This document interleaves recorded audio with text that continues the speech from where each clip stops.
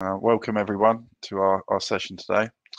Um, the title of our, our leadership session, our thought leadership session today is, is Climate Resilience, the Impossible Challenge with a question mark. Uh, this session uh, will explore the findings of the 2020 DEFRA report, Systems Analysis for Water Resources, and will also provide some examples of systems thinking approach, highlighting methods to allow us to map out linkages and how to use these to analyze impacts on decisions and strategies on a systems approach. So our panel today consists of uh, representatives from Mott MacDonald's. Uh, first off, we have um, Brendan Bromage, who is our principal civil engineer working within our water consultancy division. Um, and is and Brendan is currently um, supporting DEFRA with the production of the 2020 Systems Analysis Water Resources Report, and is also contributing to the LTIS framework with the Environment Agency. That's the long-term investment scenarios. Brendan also leads the resilience work stream for Water Resources Southeast, which we'll be talking about a bit later. We've also got Fiona Barber with us today, um, who is our global practice leader for water resources and flooding, and has been a bit of a global ambassador for catchment management uh, we also have Martin Williamson, who many of you may know. He's a uh, account leader within our advisory program delivery unit and is currently working alongside various clients, including the Environment Agency. And finally, uh, myself, uh, my name is Mark Plowman. I'm the key account lead for the Environment Agency, and I'll also be facilitating this event today. So just to give you a bit of a flavour of uh, what we're going to be, the, the order of the day, uh, Brendan is going to start with a brief presentation um, on systems thinking approach and how it applies to various things, including DEFRA and the planning of water resources, uh, the resilience framework within Water Resources Southeast, and also we'll be touching on uh, the advantages of taking a systems uh, thinking approach. After the presentation, uh, Fiona will, uh, will spend a few minutes just providing her thoughts on the water sector, including how a systems thinking approach can be used to focus on things like drought and flooding. After Fiona, uh, Martin Willison will be providing his thoughts on systems thinking and how it can be applied sort of cross-sector, not just within the water uh, sector. He will touch on direct examples of systems thinking and how they've already been used to develop things like the ecosystem services tool. And finally, uh, well, not finally, if we've got a bit of time, I'll also provide some thoughts on, you know, what sort of organizational challenges exist when you sort of apply a systems thinking approach to projects. And Brendan will also you know, jump in if he can and provide some some thoughts on government governance arrangements on on projects that adopt the systems thinking approach. So that's the order of the day, and we we we hope you enjoy the presentation. But um, but finally, today is all about using the opportunity that we have today to prompt discussions around systems thinking. Uh, we don't claim to have all the answers. It's a, it's a really big subject and there's lots of complex problems to overcome. So, you know, we really want to hear your thoughts and we're going to have a Q&A session at the end, around about 15, 20 minutes. So please feel free to uh, to put in put in your comments or your, your, your, your questions and together we'll have a, a broad discussion on it. Uh, we, we sort of had a run through of this uh, yesterday, and it was amazing how many questions that we get we, we we sort of pose to ourselves and try to answer them. So we're hoping that will be the the key part of today. So um, if I can, I'll now hand over to Brendan, who uh, who will, uh, will just give us a, a, brief presentation on sys, uh, systems thinking. Thank you very much. Great, thanks very much, Mark. Um, thanks everyone. Thanks for um, uh, and in, engaging with this debate. I'll share my screen. Apologies, I think I've got the, the air conditioner in the background, might be, um, be causing difficulties, um, but I'll do my best. Um, so I'll be talking about uh, systems approaches at catchment and regional water resources level we see climate as one of a number of concurrent um, challenges and can't be addressed in isolation of ongoing kind of operational development or biodiversity challenges or kind of economic growth or so on. So that's why we kind of locate the climate, we're locating the climate today in particular in, in, the, in the systems, um, uh, in the systems thinking space. I'm going to look at two case studies. I'm going to look at the, the DEFRA systems analysis for water resources report. And then I'm going to talk a bit about how we've applied that for the Water Resources Southeast Resilience Framework, which is a regional multi-sector plan focusing on drought, but also addressing operational resilience issues. And then I've got a, a slide just to kind of summarize some of the advantages of taking a, a systems perspective. So to first of all, just to, to kind of introduce the um, the report we wrote for DEFRA, um, we looked at two uh, catchments, uh, the Eden in Cumbria and the Medway in Kent and Sussex, um, so two different catchments, one more rural and one with a, an interesting interface between the urban and the rural um, aspects. And the idea was to, to take a systems mapping approach, uh, apply it at the catchment level and, and develop proof of concept. So to do it, to learn the lessons and then kind of say how we should, it should be, could be taken forward in future on the basis of people not making the same mistakes as us, but also kind of building on what what went right with the work that, that we did. Um, and so the analysis was very interesting in, in taking this participatory approach because in like I say, it was different in both places. In Cumbria, there was in the Eden, there was a lot of analysis around the role of farmers in the catchment. And you're dealing with hard systems and soft systems in terms of what influences farmer behavioural change in addition to a lot of work in the Eden on uh, ecosystem services and the natural capital. And then in, in, in Kent, we had a very interesting uh, contrast between a more kind of industrial development pathway or, I mean, the area's got a lot of fruit farming as well, and just looking at the interplay between the two development pathways of those. So it was a rich experience and um, uh, a lot of insight gained from the approach. The key learning overall is that you know we've got a, pro a, a, process that could be taken up elsewhere and adapted. We looked at hard and soft systems. We, we bridged that, and then also we had a very interesting kind of theme running through it about the interface between um, well, like I say, the hard and soft systems and the different systems cultures and the relevance to systems operations. So you've got engineering systems, but then you've got environmental and social systems. And, and we, we looked a lot at those issues about those interfaces. Then we uh, took, took work up with Water Resources Southeast. So Water Resources Southeast is a major investment planning exercise. There's 1,400 um, interventions have been identified by the six water companies in the area and other multi-sector groups. Um, covering catchment options, engineering options, demand management options.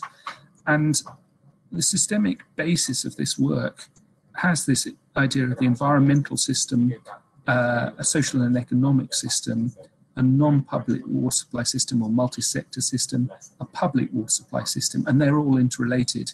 This was what was presented in, our, in the draft uh, framework, but there was a bit of feedback which, which, which came back in terms of the need to be more um, to go to, into more detail on what we meant by these systems and to make sure that the environmental system was seen as underpinning all of these other systems. So we took this systems mapping approach and, and you can see on the table there the different systems, uh, subsystems that we looked at. So in the multi-sector, it was power, paper, quarries, canals, golf. Um, and then also, you know, you can see at the bottom in the environmental, the land use, river health and flooding. But agriculture straddled straddled the two. So a lot of detail went into the mapping. Um, this is the public water supply system. And so this is one of, I think, 13 different systems we looked at, just very briefly to kind of introduce it. I don't know, can, can you see my cursor? Um, on, on the left in blue, we've got uh, a competent water company and they produce uh, engineering, resilient engineering operation, infrastructure and water resource and this leads to a supply demand balance over here. And on the right side, you've got customer, good customer relations, customer engagement in drought management, and in order to get that balance. Now, if this all goes well, you get the confidence of the regulator up at the top of the page, who then allow a more innovative strategy and you get a positive feedback loop. And that's how the system works in terms of its regulation, its impact. And then the yellow cells are, are um, some of the social and economic benefits from that. This was our starter map. Then over the course of the project, as we looked in more detail about what the resilience framework, what we were actually measuring, the this part of the system map turned into the map on the right. You can see the green nodes are environmental nodes, orange and red are shocks and stresses, and then there are little blue blobs, which are the metrics themselves. So what happened as a result of this process was that we revised where those blue blobs were, i.e. we changed the metrics and included more complex issues such as the metric over on the customer services, because good customer relations makes a water supply system more resilient. And therefore that came in as into the investment strategy that if you're developing your customer relations, customers will be more engaged in, in drought management and your system will you'll be able to manage that supply demand balance better over the long term. So that's how we integrated soft elements and hard elements into the investment planning. It's the investment modeling is being done at the moment.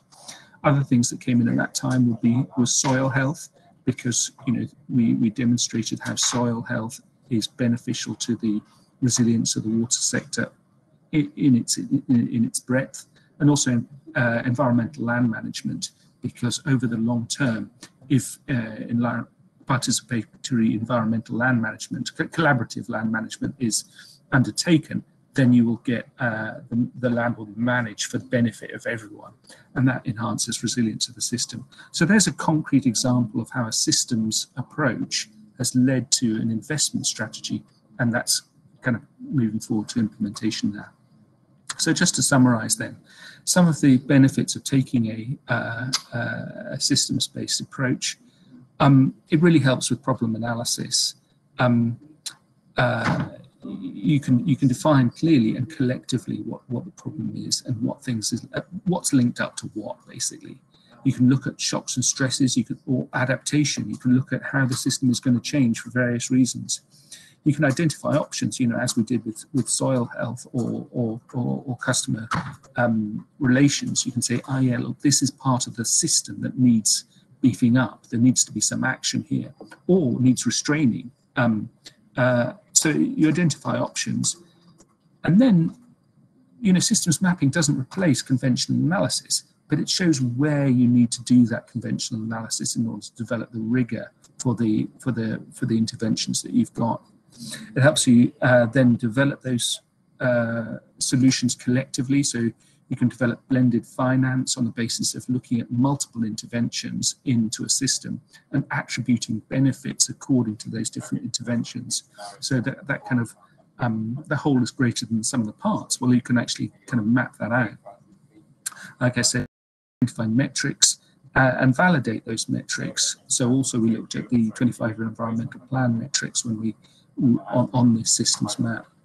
And what's really important here um, these two kind of factors on the, on the right is you've developed an audit trail for the complex conversations that you've had. So the way that map that I showed you for WRSE changed from the first map at the first meeting over the course of a two-month project to the final map, and that's just one of 13 maps that was, was being developed. It's the one that developed most. Well, we can show at the end of the day why we've come up with the decisions we've had and that audit trail is quite significant. It also can be used later can be built on in future.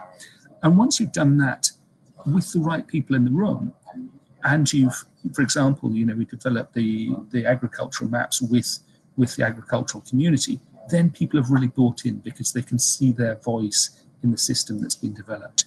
So those are some of the benefits um, of, of a, uh, a systems-based approach um, I think I'm handing over to Fiona now. Thanks.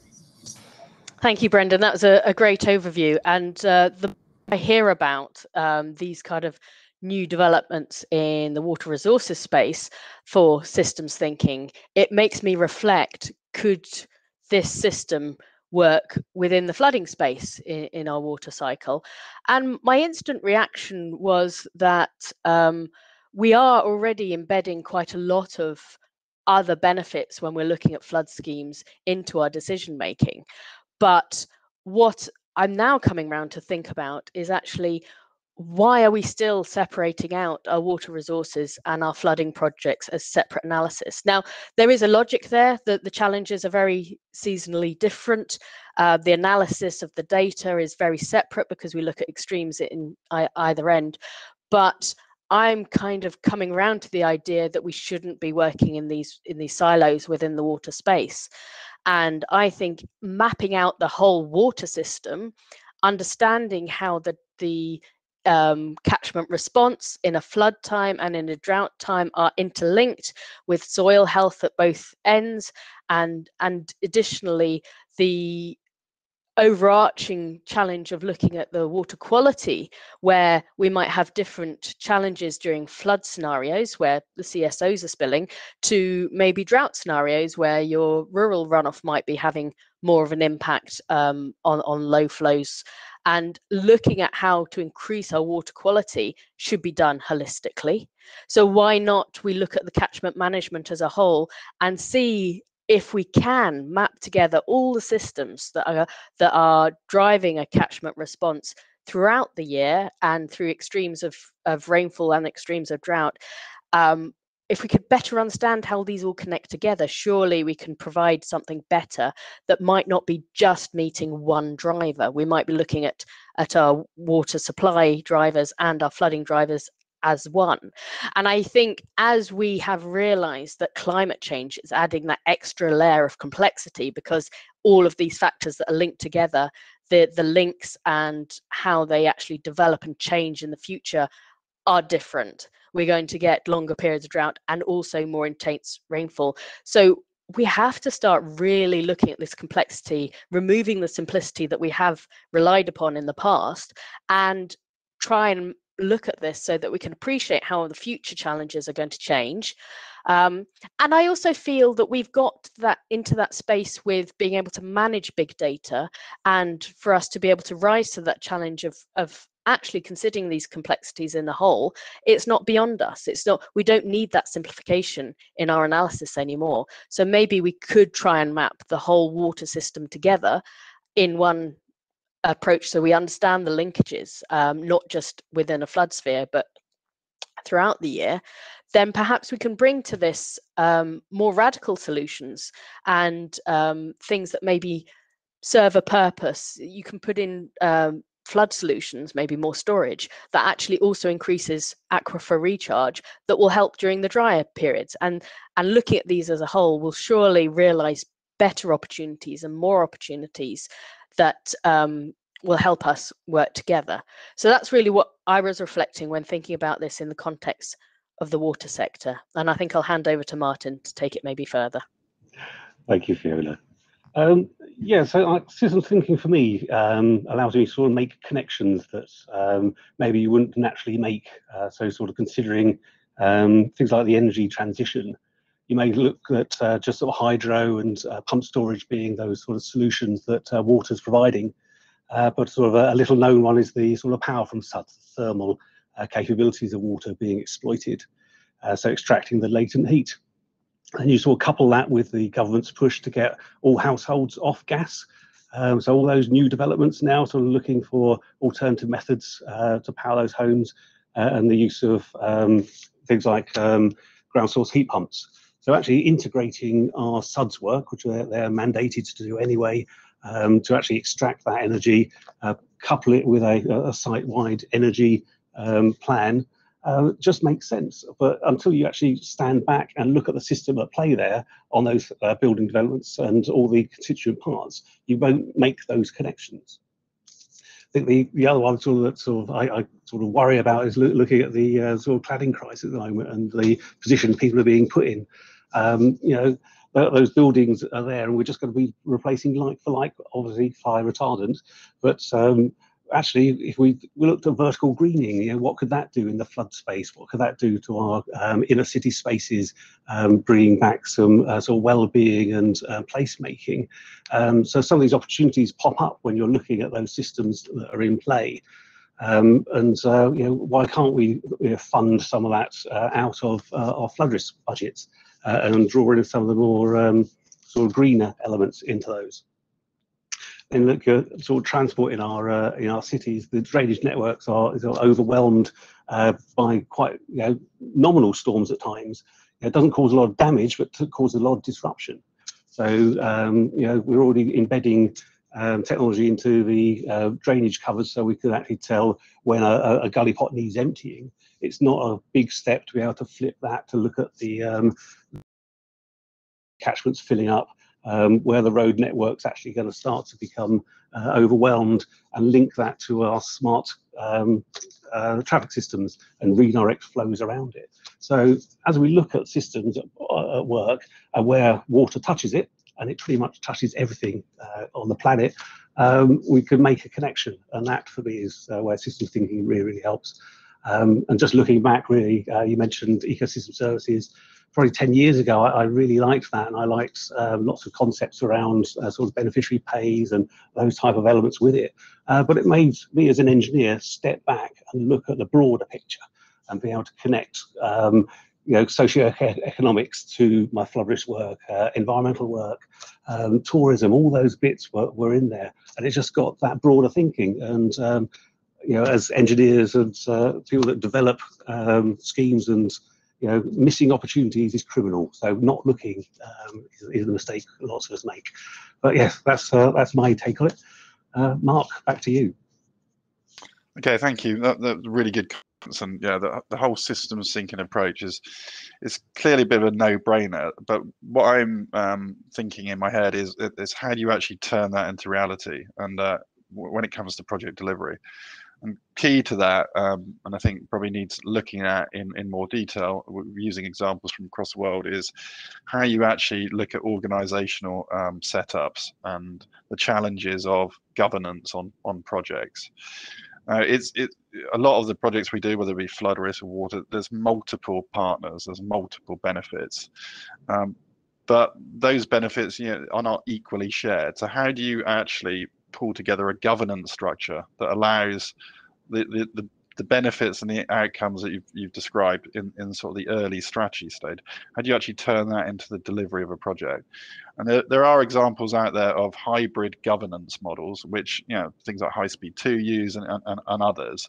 But i think there needs to be a lot more uh, focus and, and, and, examples looked at in terms of efficient governance processes and how organizations, you know, clearly the, a, a, big challenge of uh, systems approaches, it could be spanning multiple local authorities, for instance, multiple regions of the Environment Agency, multiple um, you know individuals that, that are gaining benefits, but not necessarily are, are, are leading the project. So coming up with a governance structure which can be proved and understood that allows the efficient delivery of the project is probably one of the biggest challenges. And I think you know, over over the course of the years, managing some some some projects from large ones to small ones, there's probably a little more that needs to be done on things like the management case in in in a in a business case. You know, really looking at instead of just adopting the the old methods of you know you might use a Prince two model, you might use a hybrid model, you might use an a, a model that a partnership model, but really do they work? And, and really um, how how do we actually get the the learning out of these these big projects? And obviously Brendan's talked about um, the, the, the strategy that he's working on water resources southeast. That could be a really good example. You know it's early stage but at some point that's gonna that's gonna flow into some some projects and some delivery. How we get the learning between the strategy and what was meant to happen versus the delivery will be absolutely key. And, and I know um, things like the UK government uh, construction industry, as well as uh, IPA, are really keen on looking at roles and responsibilities within within projects, within the governance structure, making sure you've got the right people that can collaborate with all the different partners and stakeholders. And also, governance is about making sure the investment is going in the right place and you're keeping an eye on expenditure, program, and all the rest of it. Well, that becomes quite complex when you've got different drivers across across large geographical areas. So how are we actually you know things like aligning FSOD and financial scheme of delegation so that everyone is happy is probably the next evolution. And and like I said, I haven't got all the answers, and this is what this this forum is about. But I think yeah, that, that's where I come from from it. You know, it's the practical. How do we deliver this? And we've got the theory. It makes sense. It's a no-brainer. How do we now turn that into actually delivery? That's all I was going to say on that. Really, I think um, Brendan, I, I, don't know if you've you've picked up any of that sort of later thinking about governance and models that might be used. You're on mute, Brendan. There you go. Sorry. Um, thanks. Yeah, I think this this question of governance is really key. Um, uh, uh, fundamentally, there's no silver bullet, and knowing there's no silver bullet is actually a very good way of avoiding a whole load of problems. Um, there's some quite interesting systems theory which can be unpacked and applied here, and really helps, I found, in, in, in, in, tackling this. One is this question of wicked problems and tame problems. So problems come into two categories. A tame problem is a problem such as an engineering operation, which is which is basically one that we can find an answer to because we can define the problem and we can say, well, this is the problem, these are the parameters, these are the variables, and we can manage it. A wicked problem is more complex than that you know, for example, how do you manage catchment or in other parts of uh, society, you know, obesity or knife crime or something like that, where actually, you know, government has been looking for, for kind of policies, but how you articulate the problem is part of solving the problem and people are going to come at this from, from, from different aspects. And systems thinking has been applied um, so there's some very interesting case studies in the knife crime and the um, and the obesity issues around that use the same systems mapping approaches in order to get multiple approaches to a problem because you can't actually nail down what the problem is that you're, you're, you're tackling. So that's that's one start to this. Another um, element of this is a piece of theory called cultural theory, which basically works on the assumption that different organizations will have different cultures towards risk management and different assumptions about um, uh, how, to control systems and will therefore tackle that their problem. They'll see the problem in a particular way and they will uh, uh, tackle it from this approach. Whereas actually what we want is these multiple approaches. So for example, I mean, you can simplify this. Um, uh, Tony Allan, who, who, came up with the, the term virtual water, he, he said, um, he's recently passed away. Uh, he, he, he said good governance is when .com, .gov and .org work well together for the benefit of society. And he was capturing that because a .gov or a, a, a government or also an engineering approach to a system is to, is to control the problem, to define the problem and to control it. That's what we as engineers are good at. Whereas a .org or a, a third sector approach is really about mobilizing collective action. And there's elements of problems which are really best handled with that. But then .com approach is looking for opportunities to, to come in and solve problems and you know make, make a profit, but they do the heavy lifting. So if you look at those three different elements of governance, of interventions to a system, well, actually, they will be best fixed best able to kind of tackle any part of one of these problems, you, you really get the benefit when you get an interplay between them. So if you look at catchments, the Water Framework Directive was very much a, a, a .gov. It was, it was defining the problem and looking at interventions to control it.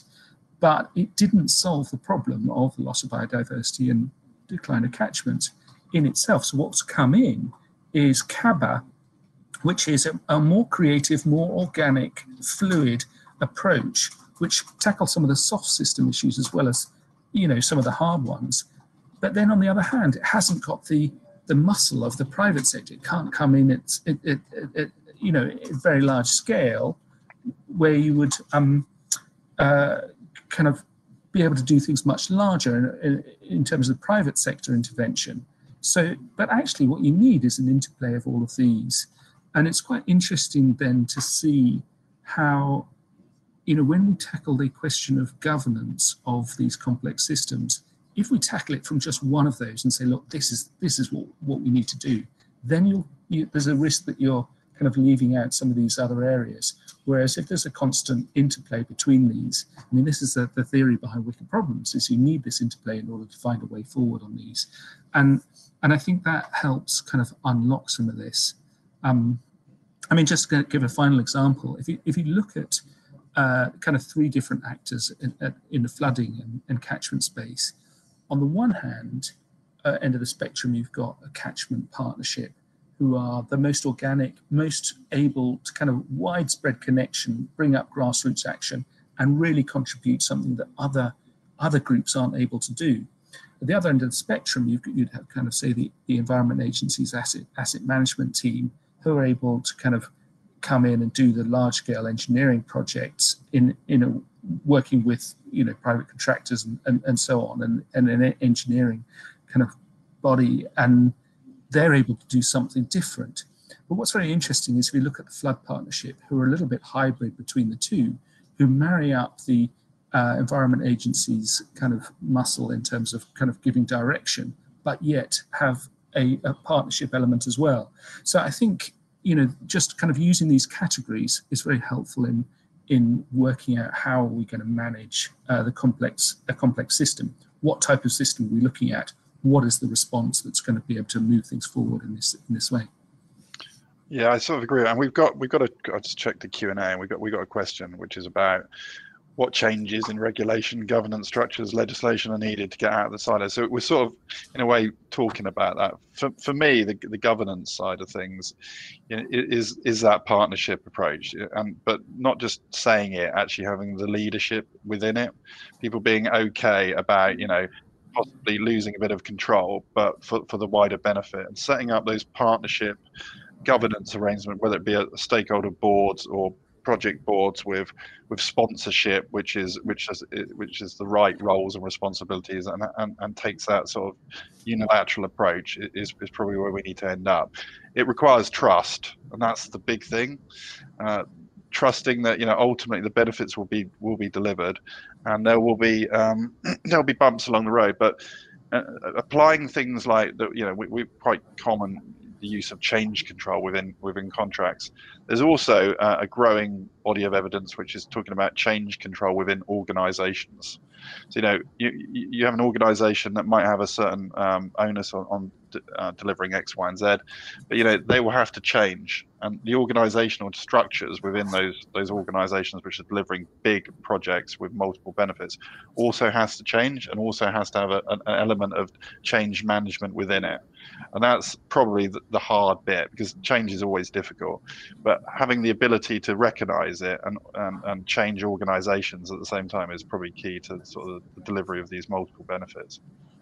One, one challenge I would just like to put to you in, in terms of, and, and I agree, partnership working is the way forward, but I see one of the barriers that becomes quite impossible is that different organizations have not only have different drivers but different legislative remits. You look at a water company and they have um, in legislation a restriction on what water they can take and what uh, standard protection that they provide a service to and, and all of that boundaries that they have to work within.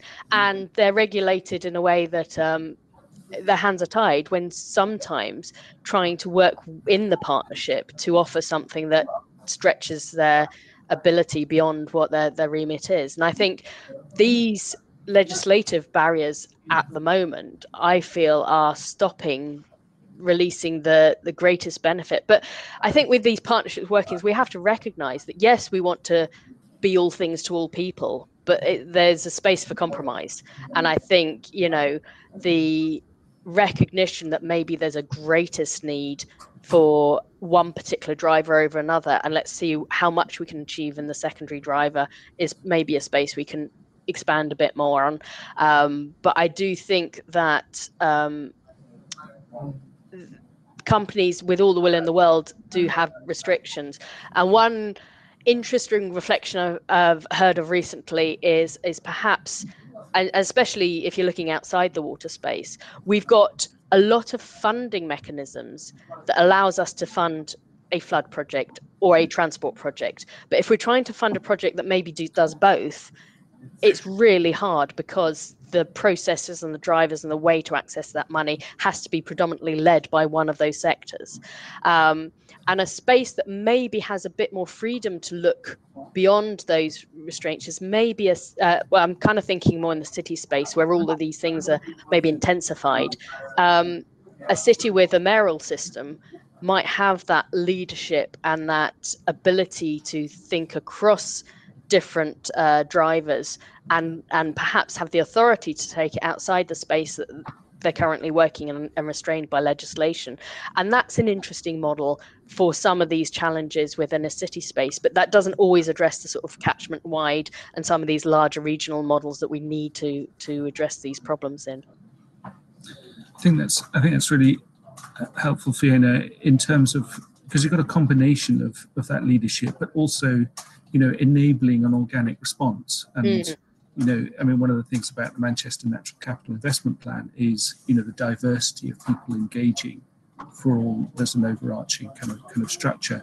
And it's interesting to see what United Utilities are doing here. I think they've just recently um, put forward a, a, major fund as part of their uh, catchment uh, systems thinking um, uh, CAST program, um, which invites people to come up with ideas and put something in, and thereby they are doing both. They're providing a lead, but yet also kind of harnessing the power of a, a, a kind of more more plural, uh, a broader uh, a broader approach. And then you know this then leads on to the question in terms of well, what level is is is it best to coordinate these things at? Because you know on the one hand, you know if you're taking a broader natural capital approach, well, you know, we see in Manchester the kind of significance of local government in that. Um, but also interesting to kind of see at catchment level or regional level. So one of the interesting contrasts between um, the work we did in the Medway and the work we did for Water Resources Southeast was when we were working in the Medway with the Catchment Partnership and various other kind of stakeholders there, then we had much more granularity but we didn't have some of the big hitters who were kind of not interested in working at the catchment level in contrast to working at the regional level. So when we worked at the regional level, we had kind of the major paper mills and you know the power sector and so on were at the table. And and I think given the fact that there's no single one problem we're trying to address, but we've got multiple overlapping problems of water resources, of biodiversity and, and, and, and natural capital and social capital and so on, then inevitably there's going to be a plurality of these different levels where different things are, uh, are run at. And I think, kind of, well, I think the two things, you know, we've been, of the thing, the, the, the techniques we've been looking at here are really relevant. In terms of systems mapping, if you want to kind of develop a blended finance approach, then it's really helpful to have a collective approach to systems mapping because then you can say, well, look, these are the different levels of intervention and these are the benefits they create. Who is interested in funding any one part of this and what attribution of that benefit you get? So, in terms of convening multiple benefit schemes, systems mapping really has an important role to, role to play. Do you think systems mapping has an important role to play in understanding whether the problem is best tackled at a catchment level or a regional level? Would you even use it as early to decide which way to go with with that? Um, so, I or would the mapping be done at different scales depending on where you're starting I, from? I think it'd be done at different scales. Yeah. You, you, know, I, I, find in terms of answering that problem, I, I do think that the the cultural theory approach, you know, this who has the comparative advantage and at what scale is a really significant question. I mean, you know, in, in terms of the CABA groups, catchment partnerships, and so on. You know, in terms of mobilizing a breadth of, of, of actor to make a difference on the ground, they're fantastic. Um, but you know, that's not going to be bringing in the some of the questions. You know, you look at strategic level around, you know, the development of hydrogen, where the major water resources, and so on. Well, that needs to be done at a, at a, uh, at a on a different scale in a different way. Um, so interesting to see that if we keep in mind the plurality here, then then I think we can be more nuanced in kind of saying, well, you know, there isn't a single answer to this, but we, we've, we've got to uh, draw on the creativity of each of these types of, of intervention. I think the industry sometimes wants to be told how to go about things and what's the process. And let's just do go through the same thing over and over again. And i think the recognition that there is no one answer there's no one solution it's lots of different problems that need lots of different ways of approaching it sometimes does cause a bit of a challenge to um, people who like a functioning system and a and almost a fairness and a transparency because if you're a big organization say the environment agency they can spend money lots of different ways but how can they provide that overarching view of this is the best this is better for this catchment this is better for this catchment if they're following two different processes or two different scales? I can imagine that throws a lot of challenge up to an organization to to allow that flexibility for what's best. But uh, but i can see the resistance there I, th- I think um, here again, um, wicked problem theory. I mean, do, do, do look up wicked problem theory. It's fascinating and uh, I mean really insightful, um, because one of the things it states is that people articulate a problem in the way that they can perceive intervening it. It kind of we articulate a problem in a way that legitimizes our our perceived intervention. So therefore, as engineers, we have a, a, a natural um, tendency to perceive uh, natural resource problems in ways which favor an engineering solution, whereas an environmental NGO would have a natural tendency to perceive the uh, the um, uh, natural resource problems in a way that a collective response we can get people together and change the world. And you know this is you know Greta Thunberg is is a great example of this. I mean what she does is absolutely fantastic, but it's very different what the World Economic Forum do is very different from what the UN does. And actually, there's, I mean, it's a complex interplay between those. Is being mindful that actually we all have our, our biases towards the way that we would like to intervene. And then when we can move to a point, I mean, this is how we're moving. This is real systems thinking. Is that it involves that cultural shift to realizing that other systems operate with different cultures and different different value structures and contribute something that I can't see. And um, you know, one, that that is a kind of maturity of systems thinking to to bring about that collective learning with, with different organizational cultures contributing and, and coming up with perspectives that you know as, as, as an individual operator it's un, impossible to kind of come up with and then we're really moving making headway in terms of systems thinking so I, we all have to listen more. Is all I was going to reflect back to that. I was just going to pick up on uh, a question that's come in uh, from Terry Fuller on the, um, the organisational alignment that require based around the outcomes.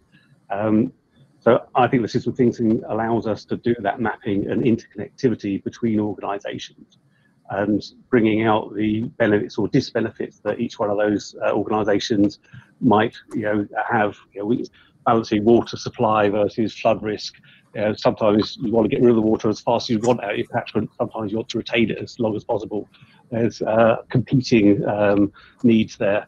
Uh, but the systems thinking bit allows us to make those connections that may not be obvious um, and then draw in those organizations for conversations and contributions. So uh, you're right, I think we can actually show how they all align how they could all get benefit from any individual solution, or you know, we can then get all the right parties around the table and you know, smooth the, the process. Um, it's when you leave people out that they uh, they push back hardest and delay things longest. So, uh, and I think it's an interesting point there, sort of starting with the outcome. I think Terry's alluding to, and then looking at all the possible things that feed that outcome, as maybe your your link your linchpin or whatever to who to bring to the table and how to explore all the possible organizations that could bring work towards that one outcome is if you you start with the outcome and then do your system out from there if you know what i mean that makes sense to me yeah you're right you could, you could specify your system that, uh, that creates that outcome right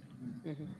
Thanks. Uh, apologies, Sarah. Terry. I hadn't seen the question where the Q and A's were on the screen, so um, I've seen that I think this is really great in terms of the how, how we're thinking about who needs to be at the table. But then if you marry that up with the systems mapping, what we found in the, um, and we've written this up in the DEFRA report, is the need for the people who are at the table to be engaged with their constituencies, to have broader outreach, um, and to do the mapping at a, at a, in a time frame that allows for those broader consultations rather than having everyone in the room, which is obviously a lot more difficult online now, now anyway. Um, because if we then kind of get this organic approach to engaging people right, and we've got it, you know, the stages of development with the systems mapping approach, I mean, it is just one tool of many. Um, but then, like I say, you've created an audit trail of something, a really complex process of engagement and buy-in and so on. And I, I think kind of marrying that up of, of that wider organizational and constituency engagement with the with the getting it down on, on paper. Uh, kind of follow, which you can follow then up follow up by by using i mean we've got an in-house app uh, for for um, interrogating the systems map and looking at complex linkages once you've done it. So i think it, it's it's a matter of mar marrying up that kind of analytical approach and the audit trail with the, the broader uh, stakeholder engagement that terry terry mentions and, and, there are actually some some great examples around around the world which are similar to this because you know we're, we're talking about maybe a region within the UK or, or that sort of scale. But you know, there are examples around the world. For instance the Red Sea Dead Sea project. I don't know if you've ever looked at that. That is that the benefits there are you're trying to look at the Red Sea as a region which obviously spans countries including Israel uh, Saudi Arabia Jordan Egypt yeah, and, and they're coming together in, in this approach, and you can imagine how difficult that is politically. And if they can achieve these sort of things, I'm, I'm sure I'm sure we can apply that sort of thinking here as well. Um, and the benefits there are not just you know from a sort of water uh, position or basis, but also tourism, investment into the area, um, increased travel routes, and all the rest of it, as well as huge environmental benefits of doing things like you know ma maintaining the Dead Sea and, and, the Red Sea. So I'm sure it can be done. It's just a it's a bit like what Fiona said. It's it's about people just want to want to be told how to do it, and that's probably where we need to we need to get to to try and actually get to a point of mapping this out, understanding it, and then putting putting a model behind it. I think, I think what's quite interesting is, sorry. Yeah, go on. Um, um, is how other sectors are now reaching out. So from the finance sector, there's the uh, task force for climate uh, related financial disclosure is basically the um, finance and, and business world is looking for, you know, people in the environmental sector who are thinking more holistically. And there's that now the new task force for nature related financial disclosure is one. Um, but then also, if you look at the six capitals, the multi-capital uh, framework, that is a systems-based method. And it gives us a, a common language which runs through, um, you know, when we apply it to, a, to engineering and environmental problems, and it can be applied, you know, it speaks the language of business. Well, then that's a way of connecting it. So it's reflecting other people's um, language. But one thing I, I was uh, reading yesterday online um, I find very humbling to, to kind of think, well, it, it's just about talking to people. Is um, I didn't know about the Scammonden Dam on the M62, which um, so in the 1960s, um, the Ministry of Transport was talking with the Huddersfield, uh, I think it's the Water Corporation, and there's a, a, significant stretch of the M62 is is a dam, which is the basis of the water supply for Huddersfield. So, kind of think in the 1960s, you know, they were able to get a massive uh, co-benefit, which meant that both projects, you know, were much more financially viable. And so it's really about driving down costs. If you get these synergies, these systemic synergies, and they, they managed it with with the dam when they were building the M62. So we've got to find our own way of doing it in our generation. And do you think we can? I mean, what we've pointed out today is the complexity of it the flexibility we need, different models, different scales. It does feel big and a big challenge. And do you think we'll get there? So I think it's it's essential. I mean, if you look, but we've got new frameworks coming through all the while. Um, you know, the 25-year environmental plan is fantastic because it just provides that framework that we can all rally around and speak the same language. Um, and so, and then I, I think you know, some of the work being done on, um, you know, at the regional level, both on flooding and on water resources, you know, when you make a new reservoir, you need to have an area, if you need to kind of draw it down quickly, you need kind of washlands and so on. Well, you, you, know, who, who else needs washlands? Well, some of the biodiversity agenda and so on. You know, there's a number of ways that we can link things up, or for example, using more technology. Um, you know, if you uh, have a, a reservoir and you have it full, it's no use for flood control.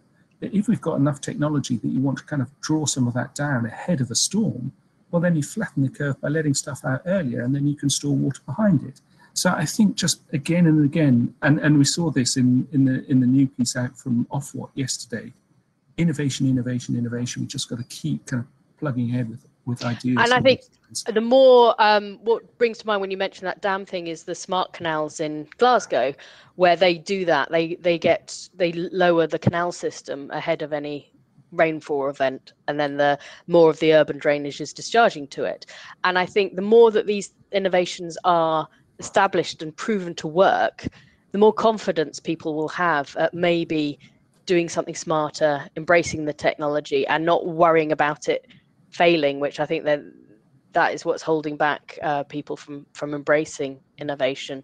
So I think I think we are getting there. and We're getting some good case studies that will build up the more and more people wanting to do something a bit more, a bit smarter, a bit using the the digital space, and and I think that's quite exciting. And I think the to me there's the what you referred to before as I think maturity of systems thinking and how we work together and partnerships and that sort of cultural development side by side with the digital development makes me feel it is possible for us to maybe tackle these things more in a more, more complex way and allow people to have that flexibility to not have to follow one process. But we're all good minds and we can get behind this. But maybe I think reflecting on how we have our own biases as probably engineers, most of us, um, is quite interesting because I know I have a tendency to come at things from a, a solution focused, um, big, wanting a big solution that that uh, that meets my needs is probably not always the best best approach, but it's where my mind goes to first hmm. off. I think the enabler there is digital, isn't it? I mean, because yeah. that, that's what's moving faster than anything, and you combine that with partnerships and all the rest of it, and the stuff that's happening in digital now is so exciting that that, that that's really the enabler. We just need to trust it more. We need to trust it more, test it more, understand it more, and then you know these things hopefully will come together yeah and also make it more accessible i think. Mm. you know if we are wanting to make sure when appropriate you know where we do want to embrace these organic spaces where you've got more grassroots feeding in we need to make sure that that it's not it's those people are able to access and feed into those digital formats. It's not a thing for just the the larger companies that, that can manage and access. It's actually available to all and can enable all types of moving forward, not just the smarter, jazzier ones. So we, we got five minutes left, six minutes left. Uh, we, I think we've we've read out all the questions. So yeah, do do put some questions in if you've uh, you've got any burning questions. Do let us know, and we'll, we'll... or even just points of view you would like to share. Yeah, yeah. I think um, anything. I'm sure there's other people that have uh, thought things from from our discussions.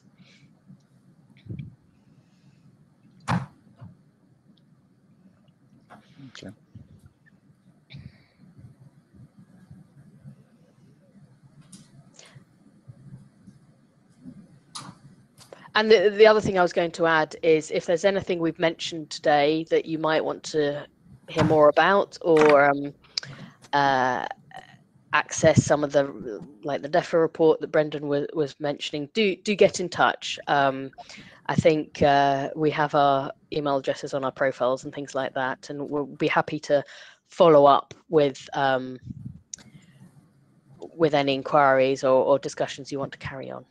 Yeah, just put your put your name and details in, in the chat, and we'll we'll try and get back to you as well if uh, you don't have time today. And there's a question there from from Kate Lawrence that we might be able to quickly, uh, well, oh, take yeah. a view on. DEFRA's 25-year environmental pl plan concept of CASO, the impact is great. Catchment management, uh, catchment planning and management, integrating flood defence, ag- agriculture subsidy policy, abstraction and discharges. But who leads it and how is it funded? And I think this is um, one of the, the things that I was trying to say earlier is most of these projects need to be led by one driver and maybe primar- predominantly funded by one driver with partnerships coming in secondary to that would would be where I think we are at the moment. Um, anyone else got a response to that? Yeah, I mean that's sort of what I was getting at in terms of governance and a bit later on. But I think a lot more needs to be thought about up front before we make those decisions. So you know, it's quite easy to say, right, this organisation, it sort of fits in there. They lead it. I think it's that's what this systems thinking does basically. It maps out all those those those actors if you like and then have a real discussion on who who would lead it. So you know, it, it might have a flood risk benefit but actually a lot of the work is is within uh, sort of a social space then sh- should it be the environment agency leading it? Who, who should it be? And that, that needs really thinking about because getting that right at the front end is actually really important. So i don't have an answer for it but it's it's more just a lot more discussion on it up front and that's why i was saying about the management case often in business cases it's just a, a you know, it's, it's, a part of it it's really important but it's just sort of overlooked. And let's really think about who is owning it who who leads it who's going to have the passion behind them who's going to be yeah who's going to have the powerful voices to get this through. And they're the sort of people that should lead these things not necessarily right it's over there it's over there. And i think do you think there could be perhaps a disengagement between the, the most appropriate body to lead it and the predominant funder? Because it might be a more appropriate for someone who's not funding it to be the lead, especially if they're the drivers in a collaborative space. Absolutely. And, maybe that, funders are secondary. That's what I mean. And I, I've worked on projects where, you know, it's led by a certain organization, but really um, and, and, the reason for that is because the funding's there. But really, the benefits are coming out of, of, this area, and it's about the right the right people, and the right organisation, and the agileness of that organisation to adapt to it. Instead of just adopting the same old systems, processes, and, and governance structures, we need to look at it at the front. It might take a little bit more time up front, but it will pay itself back hugely. And I think we need to allow that flexibility that each challenge is is looked at again right who are the parties who are the best people and not like right there's a 25 year plan let's have one person driving the whole thing through. I don't think that's going to work really. It's a classic beneficiary pays surely. So uh, surely there's multiple benefits being delivered out of that plan and uh, those benefits should be assigned to uh, yeah, individuals organizations uh, communities and uh, yeah, surely it's either central government funded if it's the communities that benefit or local government. Um, but yeah, beneficiary pays is uh, a good starting point for me. But sometimes that beneficiary could be private. So, yeah. which case, let's take the contributions. Yeah, yeah.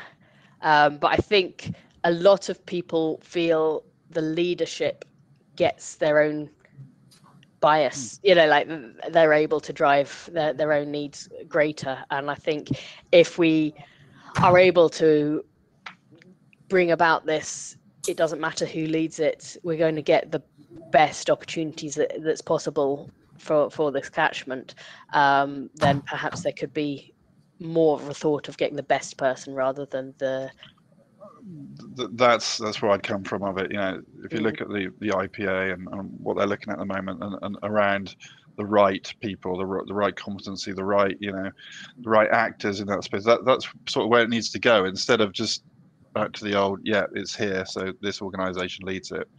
It's about having the right people, and you might have there might be some a view on forming a, a governmental level a, a, panel of sponsors that you know take this offline and they decide and then you bring in the, the right people below it.